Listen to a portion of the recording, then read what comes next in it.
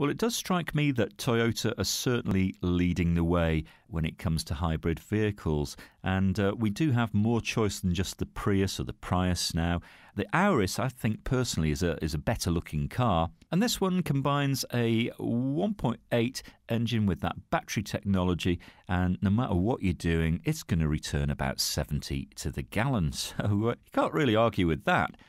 Great looking as well with um, its silver coachwork. Now, this has a pretty impressive specification uh, parking sensors, CD and radio, cruise control, satellite navigation, plenty of things to drain that battery. I'm only joking.